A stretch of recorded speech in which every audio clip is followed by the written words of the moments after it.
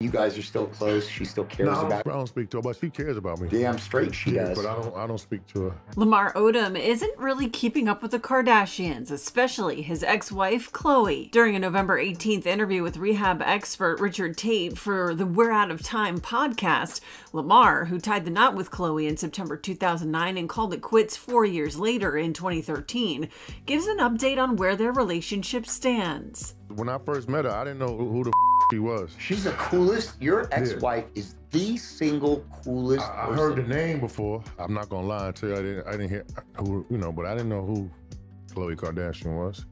And then we was married 30 days later. That's awesome. That's awesome. And you guys are still close. She still cares No, I don't, about I don't speak to her, but she cares about me. Damn straight she yeah, does. but I don't. I don't speak to her. Why? much. I don't know. It's life. But just because their relationship isn't close anymore doesn't mean Lamar doesn't think about his ex wife. In fact, the former NBA player confirms in the interview that he purchased a sex doll that looks like Khloe. Like when you're really thinking about it, like a doll. yeah. But then you think about like mental health and how important that is. Not just in today's time, but just, you know, from the beginning of time. A a sex doll that looks like your wife is is about mental health. For me, it would be. Yeah, for me, it would- be.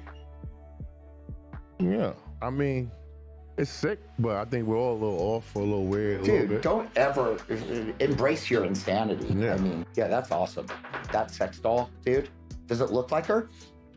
Yeah, they're gonna make it to look like her. Can I, I need, I need like a harem.